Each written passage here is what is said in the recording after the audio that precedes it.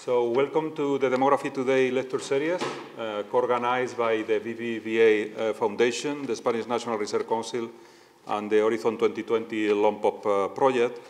And we have a real pleasure to have uh, here one of the uh, most famous epidemiologists in, uh, in Europe, Johan Mackenbach, who is a professor of public health in the Department of Public Health at the Erasmus Medical Center in Rotterdam, in the Netherlands. His research interests are in social epidemiology, medical demography, and health policy. He is a co-author of more than 700 papers in international peer-reviewed scientific journals, as well as a number of books. He is a former editor-in-chief of the European Journal of Public Health. Uh, throughout uh, his career, he has been actively engaged in exchanges between research and policy, among others as a member of the Netherlands Health Council and the Council for Public Health and Healthcare. He is also a member of the Royal Netherlands Academy of Art and Science, a member of the Academia Europaea, and honorary professor of the London School of Hygiene and Tropical Medicine. He has received an honorary doctorate from the Université Catholique de Louvain eh, in Belgium. He was elected honorary fellow of the Faculty of Public Health by the Royal Colleges of Physicians of the United Kingdom and uh, by the way, he's preparing a book on a history of population uh, health, rise and fall of diseases in Europe since uh, 700, uh, which we are really anxious to read. So we are waiting uh, for that book. Uh, as usual, we open, we leave the speaker between 45 minutes to one hour uh, talk, and then we open the floor for questions. The title of my presentation is The Epidemiological Transition. Um, I hope that that is a concept that does ring a bell with you, because the demographical transition, of course, is a very well-known phenomenon in demography, where describing the decline of first mortality and then fertility to low levels and uh, the epidemiological transition is a more detailed description of the mortality decline occurring during the demographic transition. And my presentation will be about the epidemiological transition in Europe, but I will highlight the uh, transition as it has happened in uh, Spain, of course, because I'm speaking to a Spanish audience, but also in Portugal, because I think Portugal is even more interesting than Spain when we look back in the past. So that's what I will be talking about, but let me introduce my topic by um, giving you a first slide with the uh, development over time of life expectancy at birth in Europe.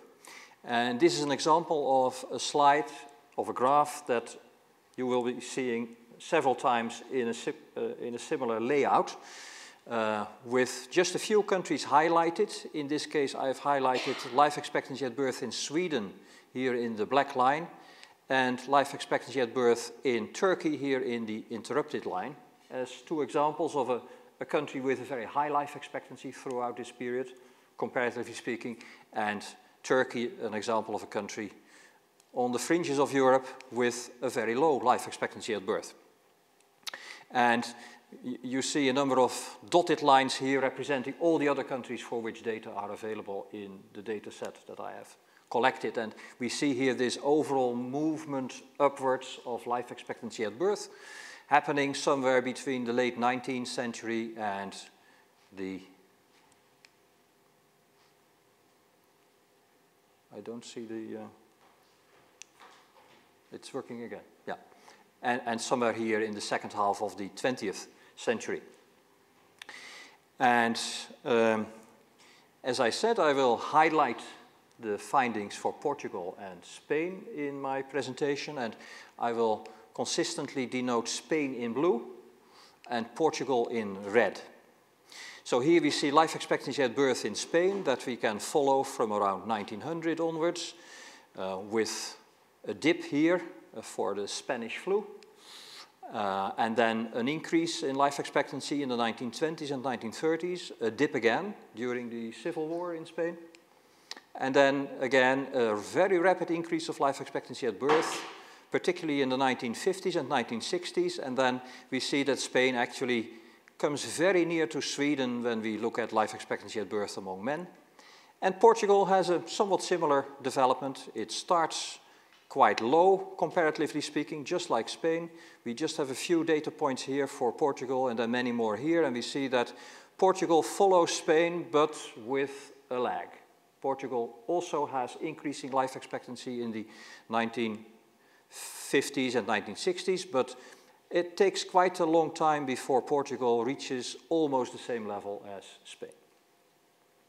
So that's the, the trend that we see over time for Portugal and Spain for life expectancy at birth. And the, the fascinating thing for me, as someone looking at the European experience as a whole, is that both Portugal and Spain come from the rear guard. What is fascinating to me is that both Portugal and Spain come from the rear guard with much lower life expectancy than many other European countries, but then somehow manage to come to the forefront to have life expectancy at birth that are higher than in most other European countries. And that's even more clear in the case of women.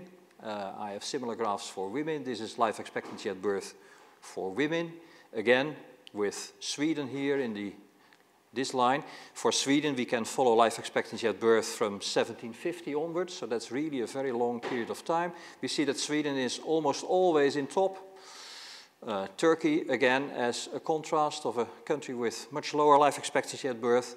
And then when we see Spain and Portugal, we see that Spain actually surpasses Sweden somewhere here in the 1970s and has higher life expectancy at birth among women than Sweden nowadays. And even Portugal now has a life expectancy at birth which is equal to that of Sweden.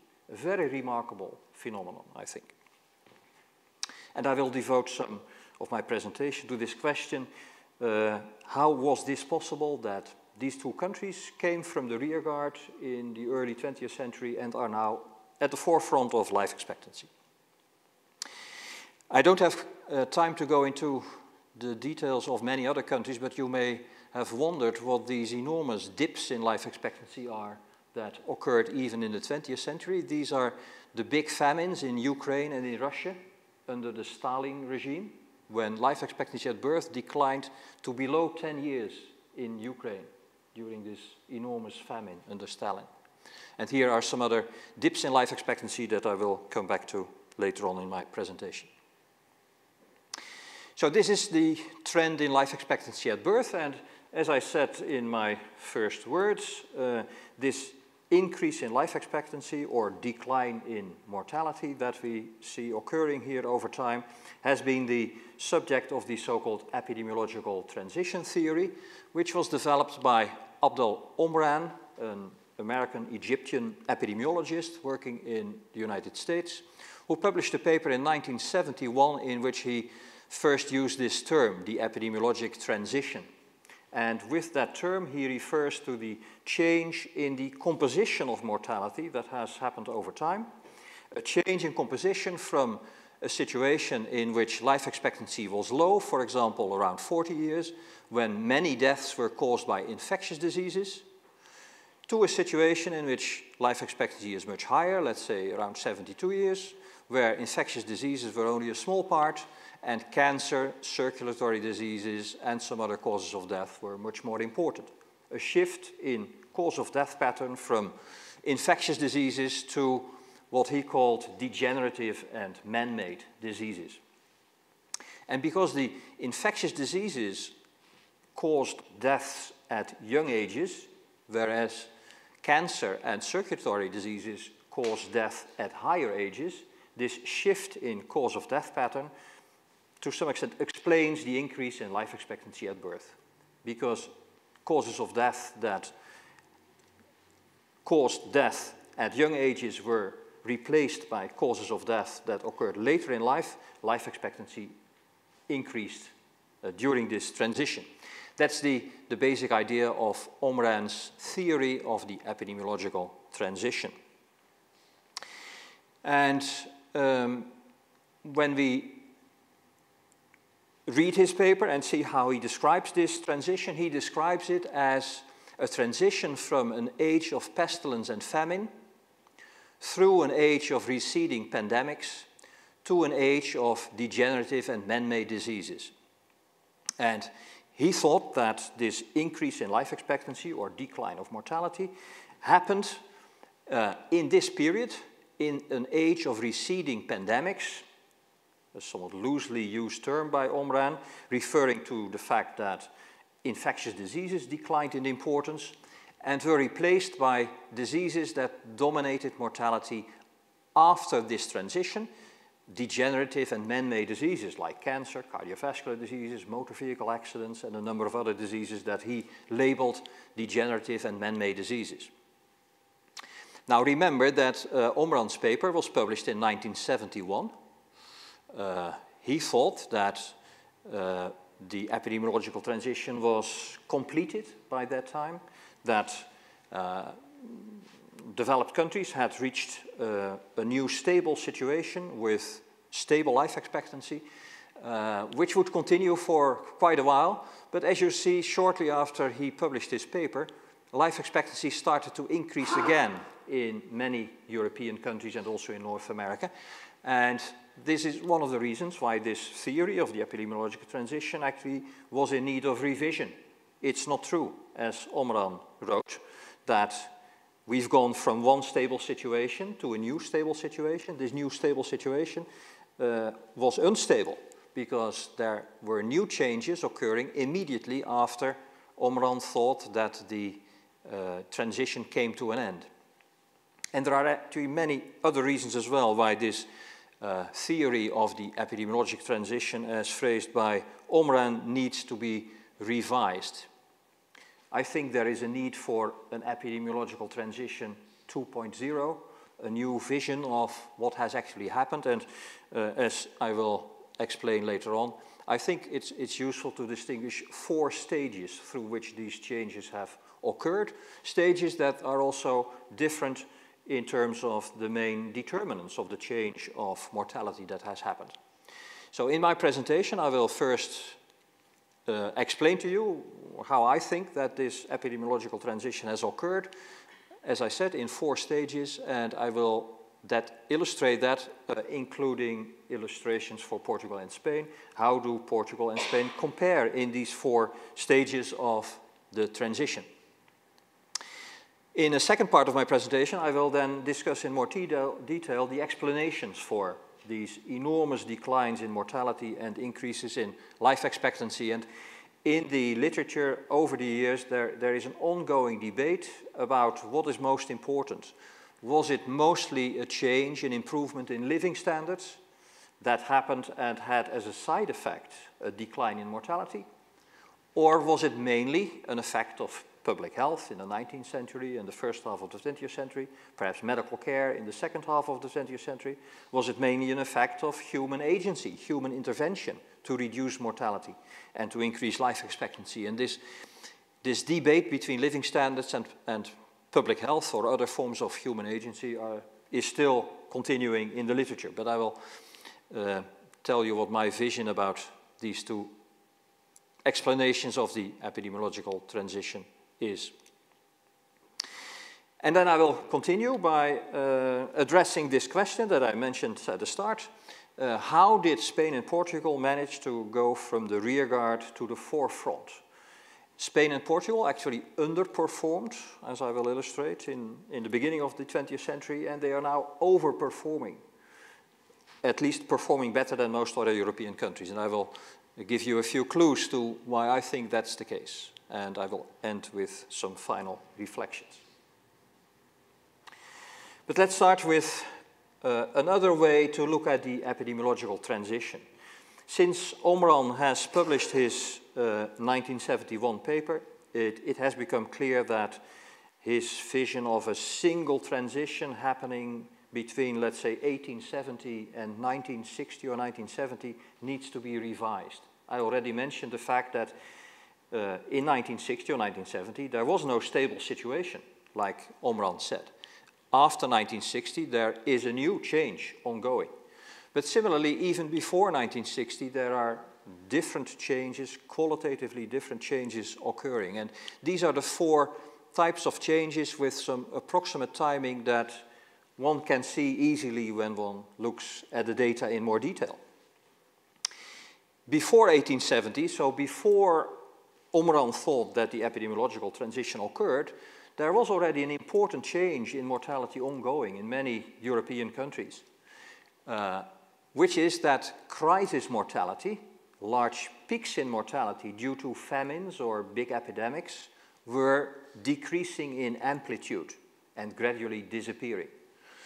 These were mortality crises due to famine, as I said, and epidemics of plague, smallpox, and these were gradually taken under control by European countries so that there was a first step in the epidemiological transition already occurring before 1870, before Omran thought that the transition started.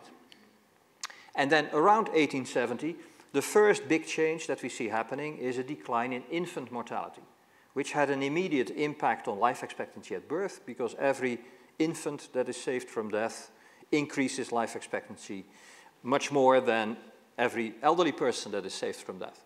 And we see that this decline in infant mortality is accompanied by a decline in mortality from a number of diarrheal diseases, intestinal diseases, from respiratory infection. And what these causes of death all have in common is that they were side effects of industrialization and urbanization. Due to industrialization, urbanization, which was happening in the 19th century, these diarrheal diseases, these respiratory infections had increased in importance and what happened after 1870 is that somehow European countries got these conditions under control. And then around the First World War, we see another change starting, which is that mortality from other types of infections, which were not directly due to urbanization or industrialization, started to decline, and also that a number of non-infectious diseases started to uh, decline over time. And these were partly the result of the introduction of prevention and treatment schemes, medical care or preventive care that was introduced. For example, improvements in obstetric care which resulted in a decline in maternal mortality, which started in this period, not in this one, but in this one. And then finally, as I said, after about 1960, we see that many diseases that are sometimes called diseases of affluence, forms of cancer, form, cardiovascular disease, motor vehicle accidents, were also suddenly brought under control, uh, partly as a result of the enormous expansion of health systems in European countries. So this is how I see the epidemiologic transition, 2.0. Uh, and I've added these timings, but uh, I, I, must place a note here. This is a timing as we see it in northwestern Europe. This is not what we see in Spain or Portugal. The timing in Spain and Portugal is different, as I will show you in a moment. And the timing in Eastern Europe is again different from that in Southern Europe. So these dates apply to Sweden, they apply to England and Wales, they apply to the Netherlands, but they don't apply to Southern or Eastern Europe. And this is then the, the timing of these four stages, at least as we see it in uh, Northwestern Europe. So what happens before 1870 is that in Sweden and other Northwestern European countries, gradually this, the amplitude of the crisis mortality diminishes. You, you also see that happening here. Uh, then in this stage we see a decline of infant mortality and a number of infectious diseases. Here we see another set of infectious diseases declining, plus a number of non-infectious diseases that could be treated already in this period. And then finally we see a decline of cardiovascular disease and a number of other diseases of affluence in this fourth stage.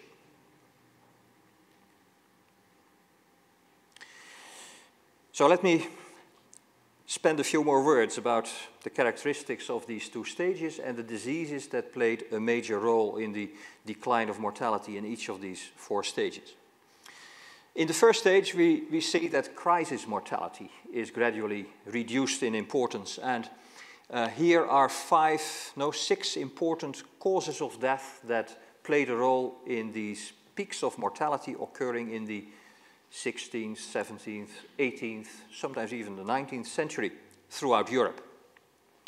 Famine, for example, even as recently in 1848, there was a big famine in Europe, which caused the big Irish emigration due to a potato uh, failure. Uh, famine was important as a cause of crisis mortality, but so were a number of infectious diseases, plague, bubonic plague, smallpox, typhus, malaria, cholera, and for Spain I should add yellow fever, which I haven't looked at, but that was an important cause of crisis mortality in Spain and Portugal. And I will illustrate in a moment that the, uh, the importance of, these, of some of these causes of death declined over time. But when you then start to study the causes of the reduction in mortality from these crises, from famine and epidemics, what we see all the time is that it's almost always a combination of spontaneous changes and changes induced by purposeful human intervention. For example, in the case of famine, uh, gradually the, the impact of famine on mortality in Europe has declined over time. This was partly because mankind in Europe was more and more successful in increasing the uh, wheat yields or the yields of other agricultural products over time due to an agricultural revolution and the introduction of long distance trade, which could compensate a shortage in one area by a surplus in another area, which was impossible before we had steamships or railroads. That's, that's human agency contributing to mortality decline from famine. At the same time, there were also spontaneous changes, and in the case of famine, uh, economic historians, at least some of them, believe that the increase in the yields of agriculture that happened in the 18th century was partly a result of the end of the Little Ice Age, there was a period with lower temperatures in Europe from about 1300 to about 1700. This little ice age was at an end around 1700 and yields of agriculture went up as a result of that climatic change. A combination of spontaneous changes and human agency. And the same combination is seen almost always. For example, in the case of malaria, in the Netherlands we had malaria in the 19th century.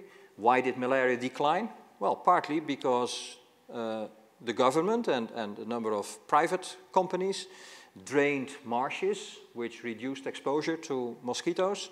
It was partly due to the massive use of quinine as a treatment for malaria, and it was later due to uh, the destruction of mosquitoes and larvae of mosquitoes, which reduced the transmission of uh, malaria. So that the, the, reduction of malaria was partly a, a result of purposeful human intervention. At the same time, uh, malaria was also uh, reduced because there was increased cattle breeding, with cattle living close to human beings in rural areas, and mosquitoes could also bite cattle instead of human beings, which was also uh, a favorable effect, which happened without any intention of reducing malaria. This combination uh, happened all the time. But um, when you look carefully at the empirical results of the studies and uh, the analyses that uh, experts in all these fields have made, the emphasis, even in this period, is on the right-hand side of this graph. The most important influence on the decline of mortality from famine, from all these epidemics, is this combination of purposeful intervention by by us, by people living, by governments living in different European countries, which has resulted in mortality decline. Let me illustrate with just a few examples, again with Portugal and Spain uh, indicated in, in uh, red and in blue. The decline of crisis mortality can clearly be seen here in this graph, these enormous peaks of mortality uh, occurred with decreasing frequency and also with decreasing amplitude over time. So in Sweden, we see that the last big swings of mortality occurred in the 19th century. Many other European countries also then still had very big swings in mortality. For example, this is uh, around 1848 when there was a combination of uh, famine and cholera epidemics in many European countries. Uh, this is a smallpox epidemic in Iceland, if I remember correctly. Uh, these were all, kind of, all, all, epidemics or famines, and gradually we see these reducing over time. But we also see that, that they still occurred. Of course, the influenza epidemic occurred, and there were some other peaks in mortality in the 20th century, but nevertheless, over time, gradually, these peaks diminished in amplitude and in frequency, contributing to a first increase in life expectancy at birth. And um, that was due to a reduction in famine and all these different epidemics. And as an illustration of one of these epidemic diseases, uh, this is a graph illustrating malaria. Uh, only the 20th century, starting in 1900. These are cases of malaria in a number of southern and eastern European countries, plus the Netherlands and plus the United Kingdom. We see that in the United Kingdom, the uh, incidence of malaria was already almost zero in the first years of the 20th century.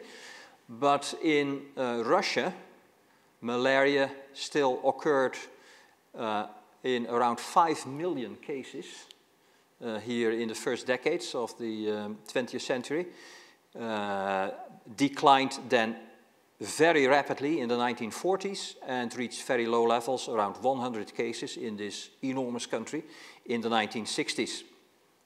And here we see uh, Spain and Portugal, which we can follow only from the 1930s onwards. Both Spain and Portugal had had campaigns to reduce malaria in the 1920s and 1930s, so probably malaria came down already but then increased again uh, during the Civil War and during the first years of the Second World War in Spain, but then was brought under control largely very, very rapidly in the 1940s.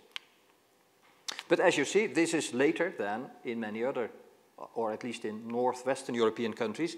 Uh, in, in, for example, England and Wales, this stage of almost eradication of malaria had been reached many years before. Nevertheless, this is of course an enormous success of public health in Spain and Portugal, this dramatic drop of malaria.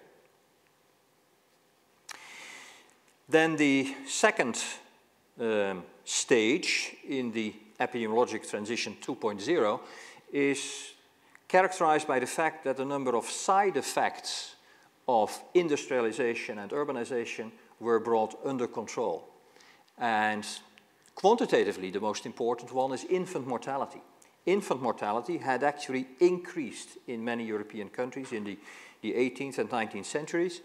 Uh, but then, after 1870 in northwestern Europe, later in southern and eastern Europe, started to decline as a result, again, both of spontaneous changes and of purposeful interventions by uh, individuals or collective agency that were intended to reduce, in this case, infant mortality.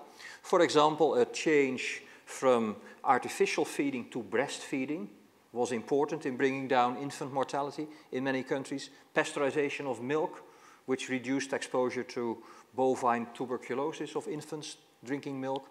And more generally, sanitation, drinking water and sewage system contributed to a decline in diarrheal diseases among infants very important interventions that have contributed to infant mortality decline, but so is fertility decline, the fact that families became smaller uh, and thereby the risk of infection from one child to the other became less, which also contributed to a decline of infant mortality. And here are four important infectious diseases that were important in this stage. For example, tuberculosis. Tuberculosis is another example of an infectious disease that became more and more important during industrialization and urbanization. But then, somewhere in the 19th century, mortality from tuberculosis started to decline. Again, as a result both of purposeful intervention, for example, isolation of patients, which was already applied, for example, in Britain in the 19th century, uh, dietary regimens that improved the uh, prognosis of tuberculosis, antibiotics in the middle of the 20th century.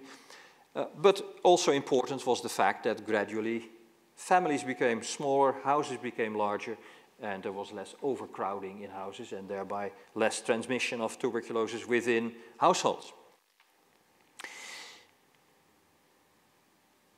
This is one example of what happened in this stage, the decline of infant mortality.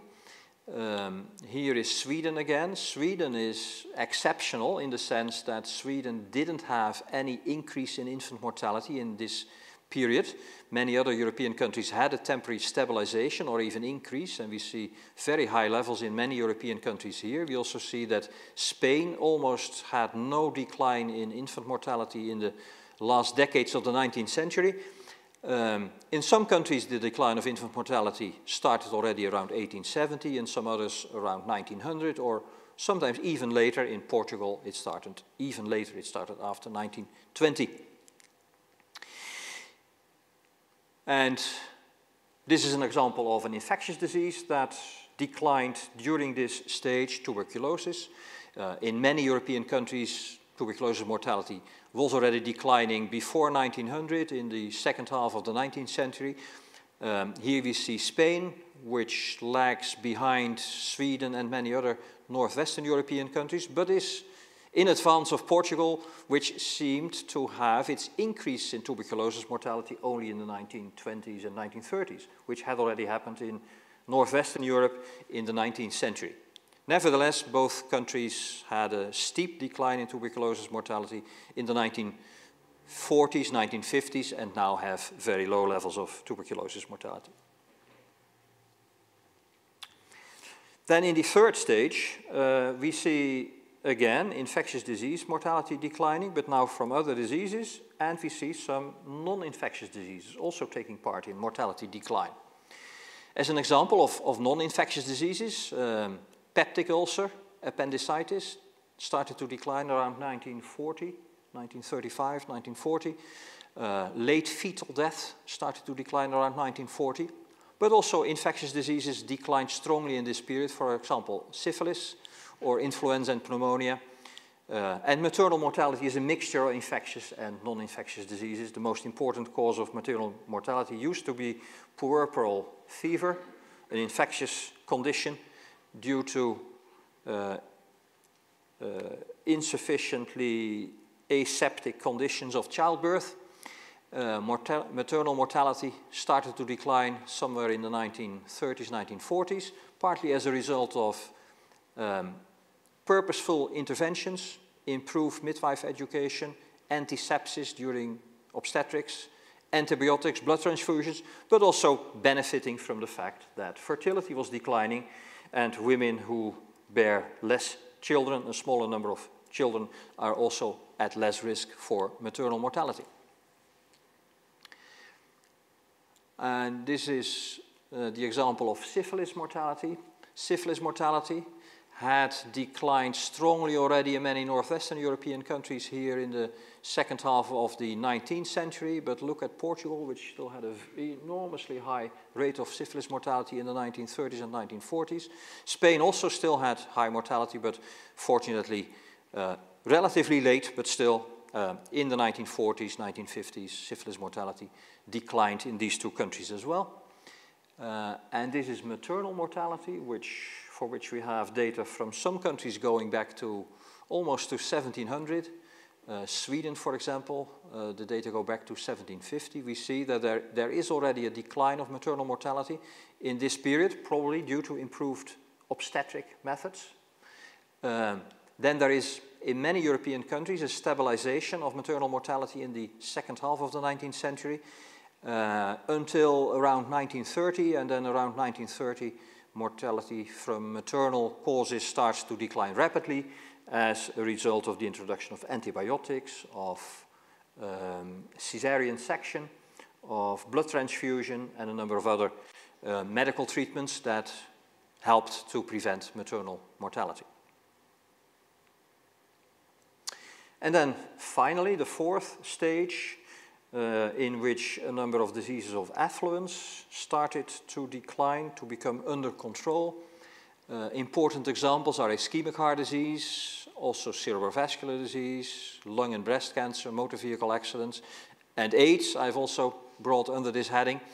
Uh, we see again a combination of spontaneous and purposeful interventions as explanations. And for example, the uh, decline of ischemic heart disease mortality, which started almost at the time that Omran published his paper in 1971 in many countries, was due to better cardiovascular risk management, uh, better understanding of what these risks are, what the risk factors are, and then management of these risk factors, such as hypertension or smoking, and of course also of better treatment.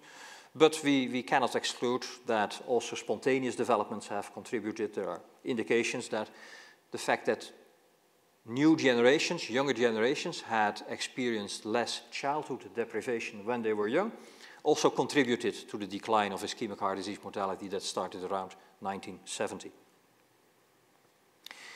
This is the trend for ischemic heart disease mortality, and, and here I think uh, it's for the first time that we see that Portugal and Spain do better than other European countries. Uh, this is Sweden. Look at trend for ischemic heart disease mortality in Sweden. Enormous increase starting before the Second World War and then peaking around 1970, 1975 with a very steep decline afterwards. This pattern of rise and fall is seen in almost all European countries.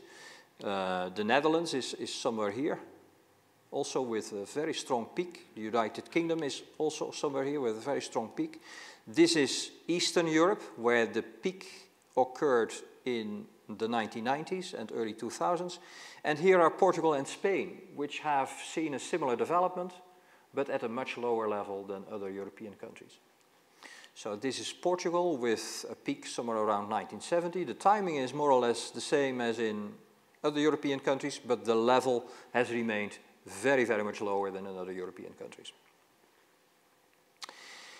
Another important disease in this period was cerebrovascular disease, and here Portugal and Spain uh, don't have such a favorable record.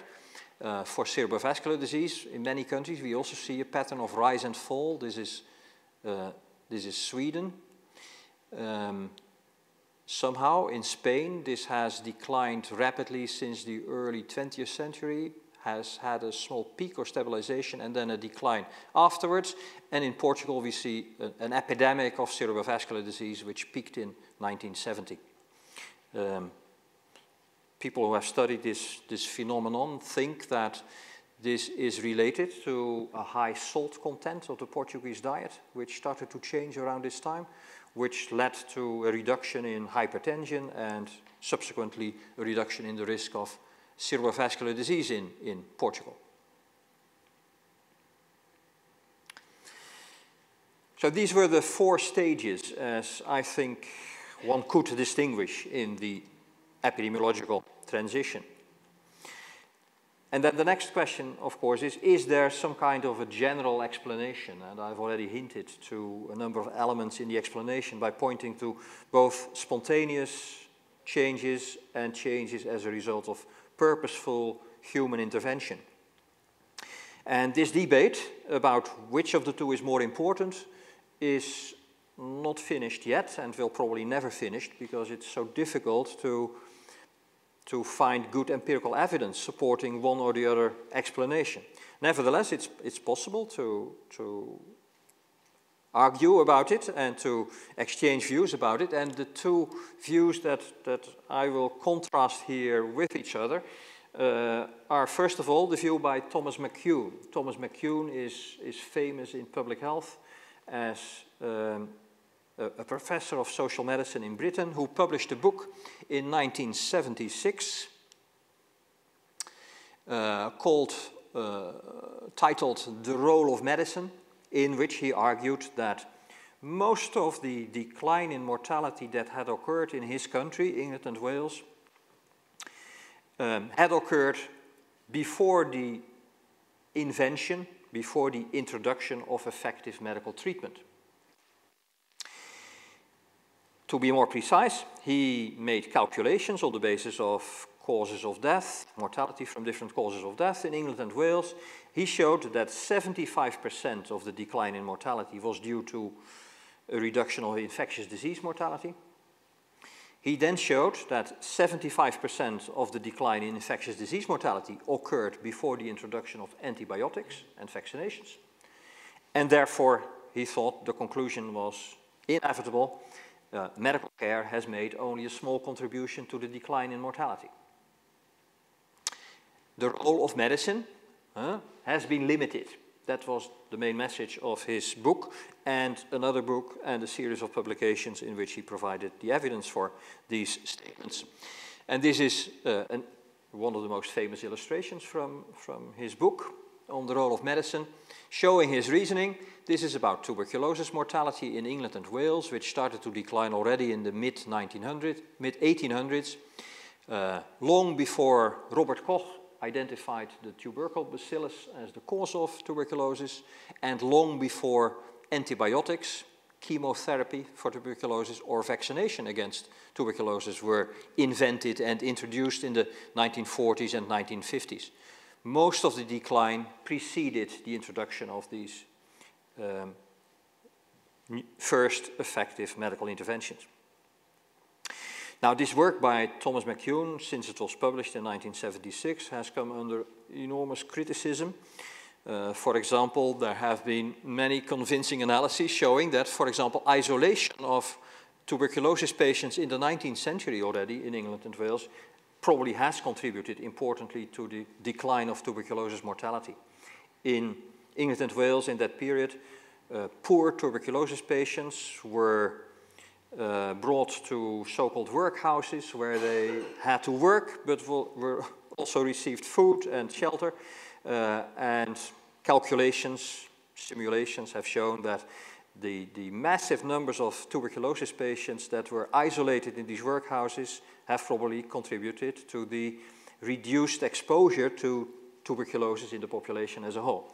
So this has come under a lot of criticism, McKeown's work. It's likely that he has underestimated the role of medical care or more generally purposeful human interventions. And that, that's also what comes out of the work of a second author that I'd like to mention here briefly, who published his work almost at exactly the same time as Thomas McKeown, also in 1976, Samuel Preston. Uh, in contrast to uh, Thomas McKeown, uh, Sam Preston is still alive. I was just told that he spoke here in this series a couple of years ago. He's still alive and very much um, active. And in 1976, he published a, book about mortality and mortality change, in which he reached almost opposite conclusions to. Uh, he focused on, on the role of living standards and tried to find evidence for the role of increased or improved living standards in the increase in life expectancy.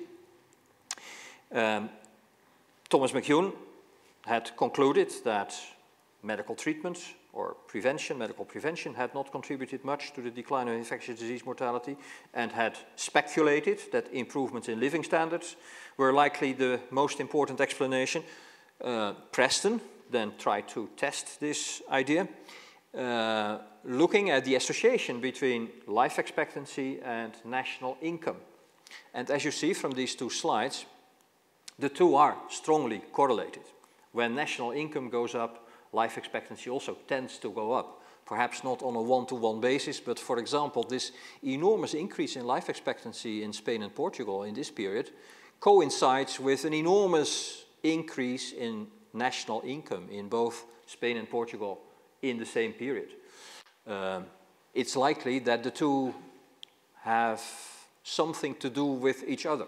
At the same time, it's also immediately clear that national income or living standards cannot be the whole explanation, but because the difference between Spain and Portugal is unlikely to be due to this difference in national income. And we also see here that Spain had a much higher national income than Portugal in this period, but had a similar life expectancy at birth. So it's certainly not the whole explanation, but this increase of living standards, improvement of living standards, increase in national income, of course, must have something to do with the increase in life expectancy. But Samuel Preston went one step further and he looked at the association between life expectancy and national income at different points in time, and then he made his important discovery, for which he has become famous, which is that when we plot life expectancy here on the vertical axis to national income on the horizontal axis, and we do that for different points in time, standardizing national income to, in this example, 1963 US dollars. So accounting for the fact that dollars become less worth over time. What, what he found is that in both periods there is an association between national income and life expectancy, a curvy linear association. Uh, life expectancy goes up when national income goes up, and then it, it flattens when national income continues to increase, but there is still an increase uh, in this second part of the curve. But when we do that again, not for the 1930s, but for the 1960s, we find that at the same level of national income, life expectancy was much higher in the 1960s than in the 1930s. The curve has shifted upwards, uh, which clearly illustrates that not all of the improvement in life expectancy can be due to improvements in national income or in living standards. And Preston argued completely opposite to McKeown's conclusion, that the only explanation he could find for that was that there was a rapid diffusion of public health technologies between the 1930s and the 1960s, which allowed poor countries to apply the public health interventions that the richer countries had invented in the 1930s so that they could reduce, for example, malaria incidence or tuberculosis mortality uh, at a lower level of national income than countries in the 1930s had been able to. So he has used this upward shift of the national income life expectancy curve to argue for an opposite conclusion as compared to Thomas McKeown, and I tend to agree with Preston when I look at these curves. Now, these curves also provide a first starting point for a more in-depth discussion of the experience of Spain and Portugal. Because if, if this is indeed a relationship that we can expect, an, a relationship between national income and life expectancy, we can use that relationship to, to try to explain the experience of Portugal and Spain. To what extent is the performance in terms of life expectancy in Spain and Portugal due to, can it be explained by the experience of Spain and Portugal in terms of national income, of living standards?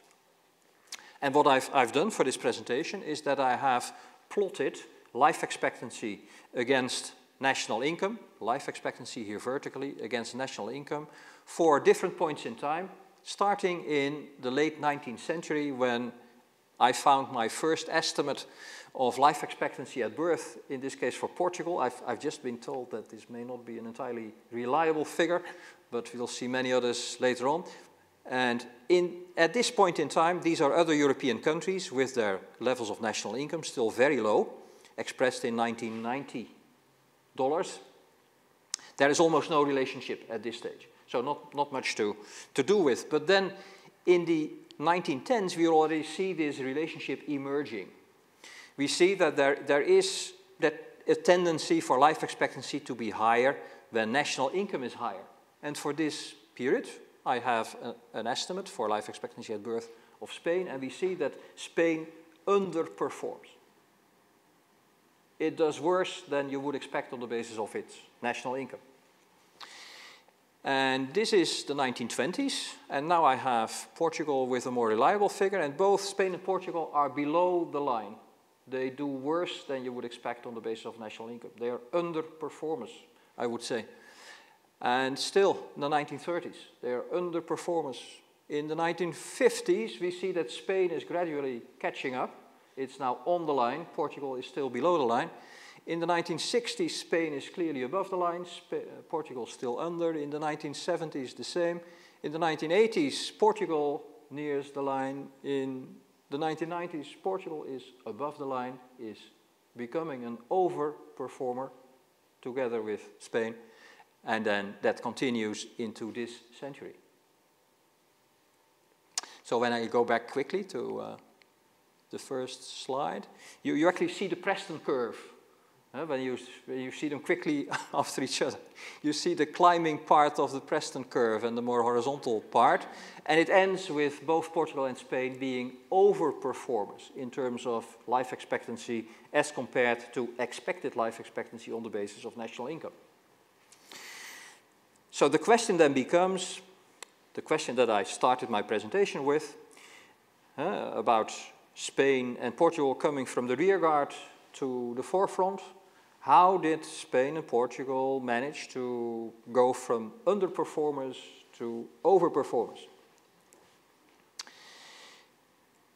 And this is what I propose as answers for, on this question, and I, I must say that this is tentative. Uh, so I'm, uh, I'm, I'm, fully aware of the fact that, that we are stretching our abilities for explanation when we try to explain such massive phenomena. But I think that there are three elements to the explanation. Why were Spain and Portugal underperformers until about the 1960s? Um, the first is that both countries were slow, slower than countries in Northern and Western Europe in creating an adequate public health infrastructure. I will illustrate that in a moment.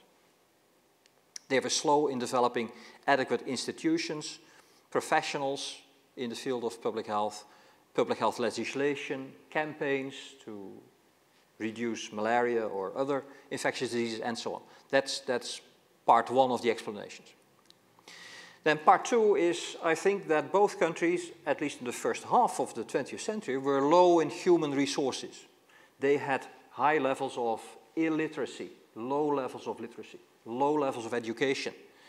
They were mostly rural. I've added they were all Roman Catholic. I must apologize for that. I, am coming from a Protestant country. Um, but economic historians have shown that Protestant countries tend to be more successful in economic growth, at least were more successful in economic growth in the past than Roman Catholic countries.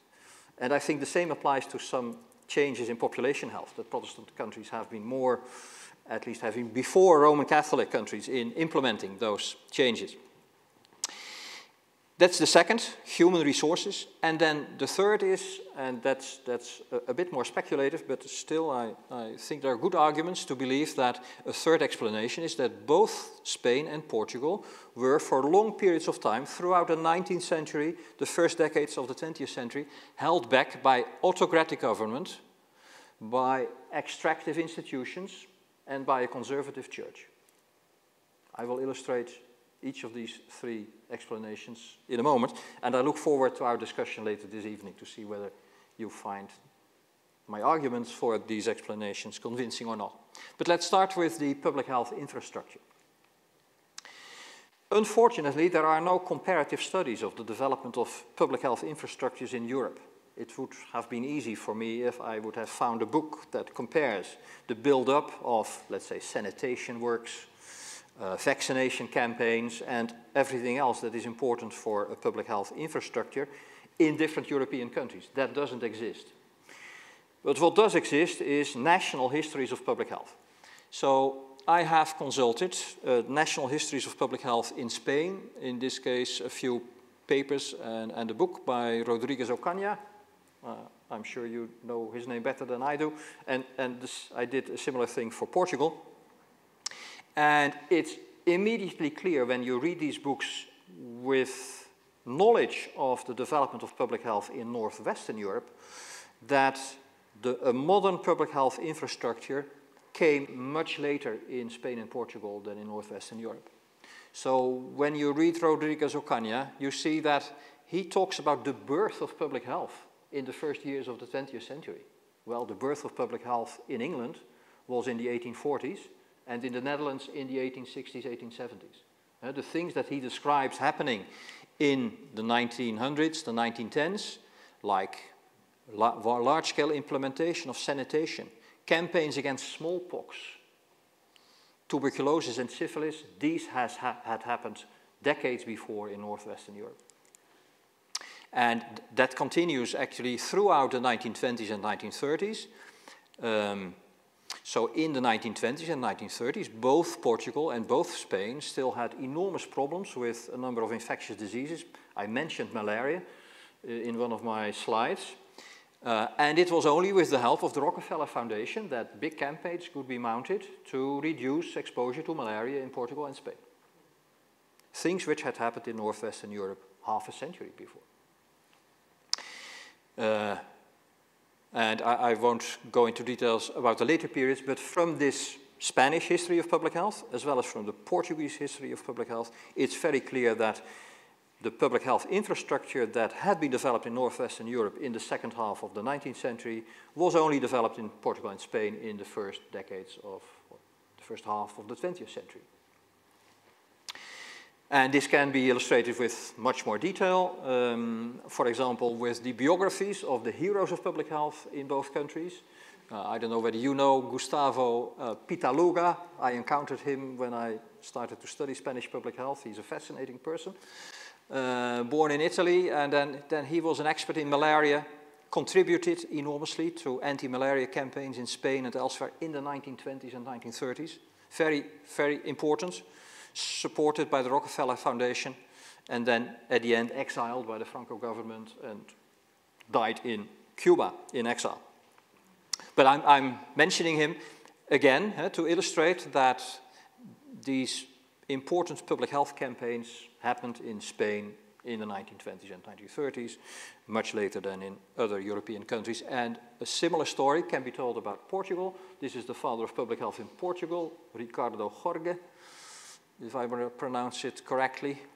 Um, this is another interesting event, I think. Uh, there, there, was one of the last outbreaks of plague in Europe, in Porto in 1899. He was working there, uh, Ricardo Jorge, uh, because of his good work against plague. He was appointed Inspector General of Health in Lisbon and then played an important role in creating a modern public health infrastructure in Portugal in the 1920s and 1930s. So that's reason number one, I think, explanation number one, why Spain and Portugal were underperformers in the first half of the 20th century. Then the second explanation, I think, is that uh, both countries were low in human resources. And the easiest uh, illustration of that is literacy or illiteracy. Uh, this is actually a curve going back to the 1400s. And we see that in many Western European countries, this is the Netherlands, this is Sweden, this is Britain, I believe.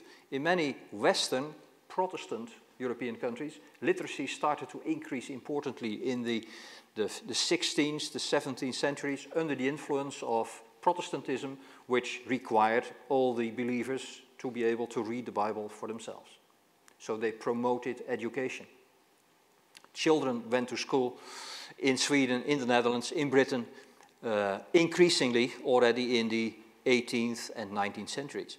Here is literacy in Spain.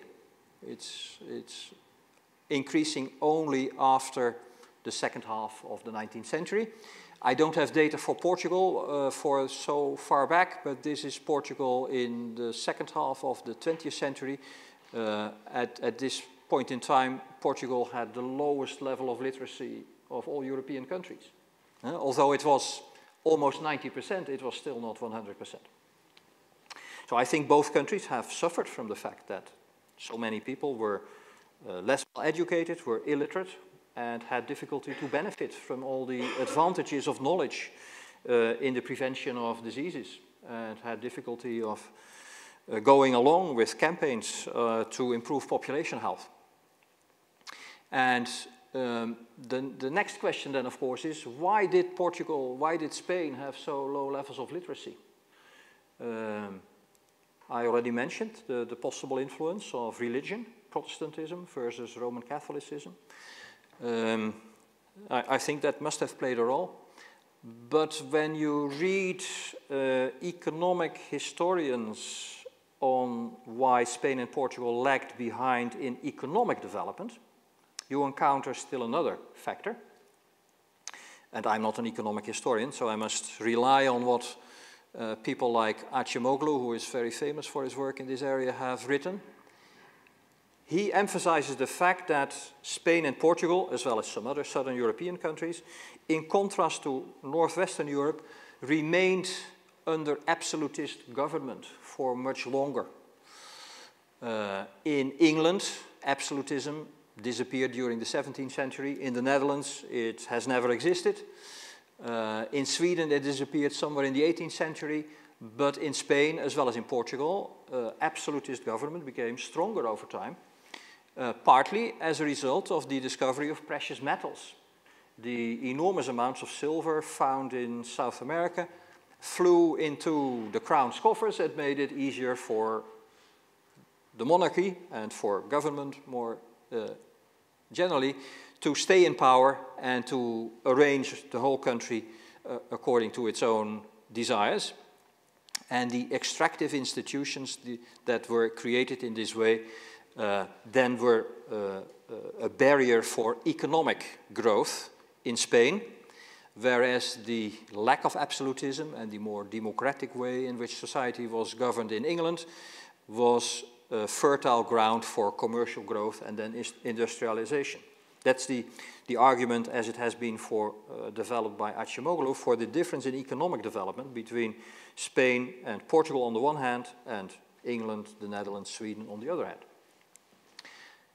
Now, my story is not about economic development, it's about uh, health development, but through a similar mechanism, first of all, the, the economic, the lack of economic growth in Spain and Portugal in the 19th century can perhaps be explained, and indirectly thereby the uh, lack of um, uh, improvement in life expectancy or the delay in improvement of life expectancy, but at the same time, the, the, the more general uh, characteristics of society that were barriers for economic growth, I can easily imagine that they have also played a role as barriers for life expectancy growth or more generally health improvement.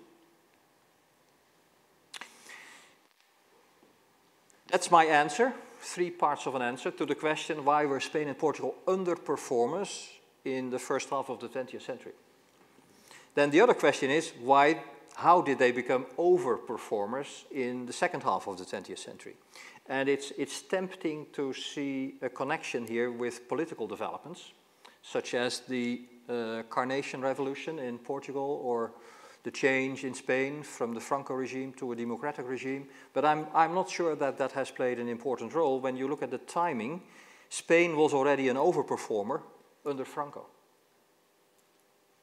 Uh, so that, that, that, cannot be such a, a, direct explanation. What is the explanation? Um, I think when you look carefully at the causes of death, the diseases that are most important as an explanation for the rapid improvement of life expectancy and the high levels of life expectancy in uh, Spain and Portugal at the end of the 20th century, you end up by looking carefully at cardiovascular disease and ischemic heart disease. I showed already the low peaks for ischemic heart disease mortality in Spain and Portugal. And a simple way to explain the enormous advantage that Spain and Portugal now have is to describe it in terms of, first of all, a successful decline of infectious diseases, all the diseases of the past, without an exchange for high levels of ischemic heart disease mortality, as has occurred in northwestern Europe. So in Sweden, in the Netherlands, in England and Wales, they have also been extremely successful against infectious diseases, but they have exchanged infectious diseases to some extent with ischemic heart disease mortality. In Spain and Portugal, in the end, at the end of the 20th century, both countries have been very successful in getting rid of infectious diseases and other old diseases without an exchange for high levels of ischemic heart disease mortality. And then the question is, how did Spain and Portugal manage to keep ischemic heart disease mortality so low? And I think that uh, is a fortunate coincidence. I don't think that is something that the public health profession in Spain or Portugal have managed to achieve. It's not something that is the result of purposeful intervention in Spain or Portugal. I think it's a fortunate coincidence. A coincidence of, on the one hand, a late modernization of behaviors in Spain and Portugal, a late smoking epidemic, a late change to Western diets, which took, which, which made the ischemic heart disease mortality later, occurring somewhat later than in other European countries, and then when it occurred, uh, treatment methods from abroad were already available that could be applied in Spain and Portugal. Statins were available to reduce risk factors for cardiovascular disease mortality. All kinds of treatment for the acute phase were available. And it's this combination of, on the one hand, late modernization of dietary habits and of the smoking epidemic with the timely availability of whatever we can do to uh, treat cardiovascular disease At the other hand, that has allowed this epidemic to, to become, to, to remain at a very low level in Spain and Portugal. But there we, we must, I think, also acknowledge the fact that in the 1970s and in the 1980s, both Spain and Portugal uh, were democratizing, were working towards adherence to the European Union, for which they had to um, uh, comply with all kinds of European regulations. They lost their international isolation. Both countries created a national health service in this period. And I think that these, these very favorable developments after the change of regime in Spain and in Portugal uh, probably also helped to make this fortunate coincidence work as it did. At the same time, I think there are also examples of uh, health problems where uh, Spain and Portugal have not been so successful, uh, suggesting that the uh, overperformance of life expectancy in Spain and Portugal is not due to uh, a generally superior performance of the health system in both countries. And one important example of that is AIDS, for which both Spain and Portugal have enormous epidemics, as I will show you in a moment. But let's first uh, look again at the uh, this fourth stage of the epidemiologic transition in Europe as well as in Spain and Portugal. This is lung cancer mortality in both Portugal and in Spain as compared to Sweden and to many other European countries. As you see, the, the peak uh, was reached later in Spain, is not yet completely reached in Portugal, and it, it looks as if the levels remain below those in many other countries, in many European in many other European countries, um, as a result of the fact that uh, the later epidemic in both Spain and Portugal has not allowed smoking habits to become as absurdly high as they have become in the Netherlands, in the United Kingdom, in many other Northwestern European countries. In the Netherlands in the 1950s, 90, 90% of all men smoked. That's a level that will now never be reached because people know about the dangers of smoking. And uh, that's probably one of the reasons why in, in Spain the, the peak has remained much lower than in the UK, in the Netherlands, and many other Northern European countries. And this is even more clear when we look at women, where the uh, lung cancer epidemic is only just starting.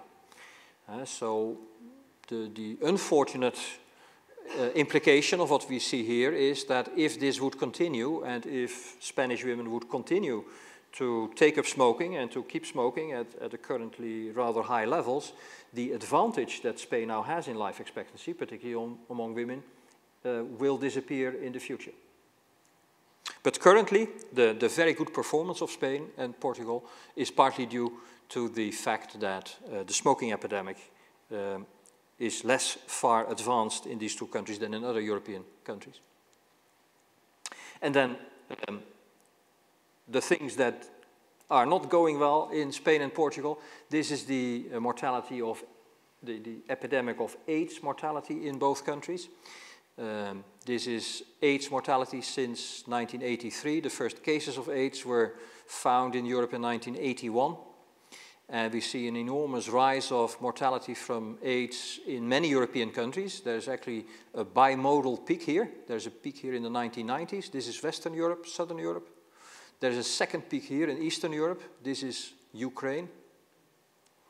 These are other Eastern European countries. They have a, a second, a peak in the second period for AIDS mortality, mainly due to intravenous drug use. And the same applies to Spain and Portugal. Both peaks in Spain and Portugal are due to HIV infection among intravenous drug users. And, and as you see, these, these peaks are much higher than in other Western European countries, and particularly in Portugal, it has taken a long time for this peak to subside, uh, illustrating that not all things are going well in Portugal still, um, even though uh, Portugal now has a life expectancy at birth at which it appears to be overperforming as compared to its national income. Now, I've tried to, to disentangle some of the uh, determinants of these changes in mortality and increases in life expectancy. Um, it's really difficult to disentangle all these different uh, influences. To what extent is Protestantism the cause of literacy, or is there something that determines that the Netherlands has chosen Protestantism and that also determines the fact that the Netherlands was an early literate country? I don't know. Um, to what extent is the fact that um, England and Wales was the first industrializing country in Western Europe, is that due to some cultural factors that are also behind the rise of life expectancy in England and Wales that started earlier than elsewhere. All these factors are interrelated and this is a, uh, an attempt to, to link all these factors together and also indicate that there are many reverse arrows. For example, political conditions may determine economic conditions and economic conditions may determine political conditions literacy levels may influence political conditions, but then if political conditions do not favor education, they will influence literacy. So all these things are extremely interconnected, and in that sense, a final answer to the question why Spain and Portugal were underperformance first and overperformance now, I think is, is almost impossible. That brings me to a few final conclusions. Um, I've tried to show you that the epidemiologic transition concept is in need of repair, can be repaired. Uh, I think we need to be aware of the fact that it's actually a, a long drawn out process of superimposed rises and falls of many different diseases. And these are overlapping processes and you can try to put them into stages as I've tried in my concept, four different stages, uh, which is a more nuanced vision of the epidemiologic transition than Omran presented. Then I think Spain and Portugal, as I've shown, have long been in the rearguard of European countries in terms of their life expectancy. I think that's due to lags in public health development, but also due to lags in economic, cultural, political development. And then miraculously, they have both moved to the forefront of European countries, which I think is paradoxically due to a combination of both late and rapid modernization. And finally, I think it's, it's really difficult to disentangle all these different influences, but nevertheless, I, I hope that this is a useful way of summarizing what I've tried to demonstrate to you. Um, this is work uh, that is still ongoing. I hope to publish that next year in, in a book. And these are some other publications that also include a lot of information on Spain and Portugal that I have already published in the past. Thank you.